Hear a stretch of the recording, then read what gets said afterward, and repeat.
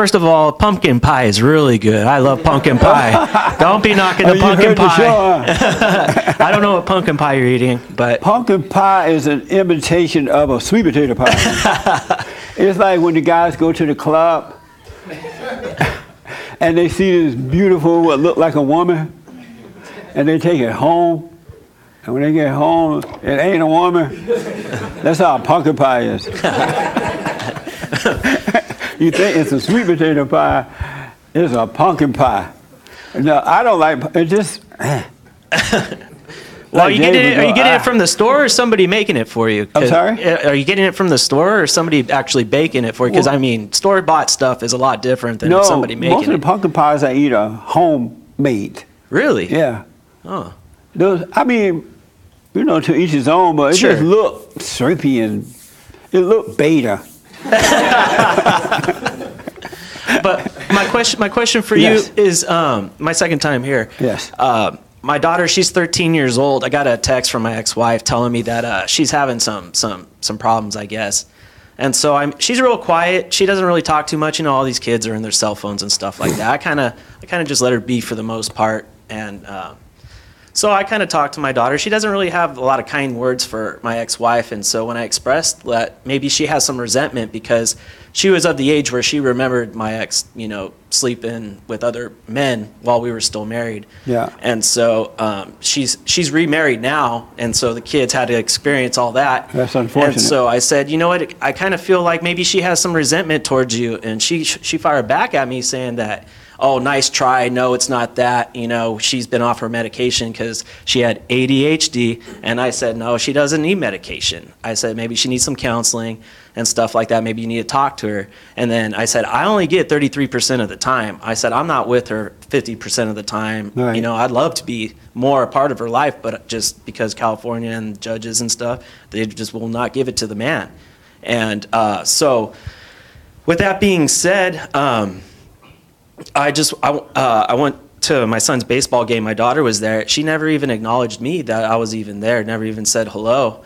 I'm just I don't want to get beta about it. You know what I mean? I want to remain the alpha in the whole situation. I just want to kind of see what your thoughts are as far as approaching her, or maybe even approaching the situation. Are you are you are you living right now? Are you right yourself? I've been doing the silent prayer. I'm, I'm, I'm rebuilding myself. Are you living with another woman? No, I'm not. So you're not dating I, anything? they've never seen me with another woman. Oh, good man. Yeah. Um, and so even though they haven't seen it, you with one. Are you with another woman? Not currently, no. I'm not talking about today. She's not here. Mm-hmm. But are you with another woman? Not, not, no. Something wrong with this answer. Well, I mean, the girl comes Is and there goes. something wrong with this answer? No, she comes and goes. Like, I mean, you know, when she's around, she's around, and if she's not, she's not. But it's so never you are seeing someone. You, you guys are just off and on, right? Kind of, yeah. There's no no commitment there. Okay. You shouldn't be with anyone at that point Okay. because the kids need to see at least one of the parents being right and living right and mm-hmm. doing the right thing mm-hmm. because they're not getting love from either one of you if you're not right because God is not working through you.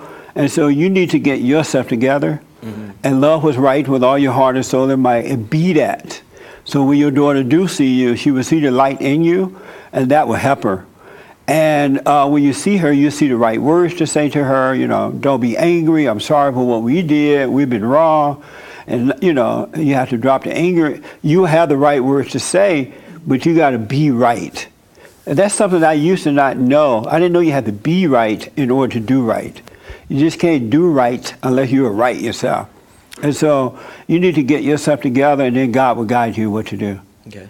But if you're not right, because even if they don't see you with this woman, it's spirit to spirit. So whatever you are is what they will become. Mm-hmm. So you need to be right. Okay. And then uh, you will see how to help your daughter. Mm-hmm. You probably won't be able to help the woman because she doesn't sound like she likes you anymore. So mm-hmm. I wouldn't bother with her. But when you see your daughter, you want to be right and you have the right words to say to her. And she'll recognize the, the right parent to be with. That makes sense? yeah. Do you think though? So uh, you got to adopt this woman. y- okay, that's done.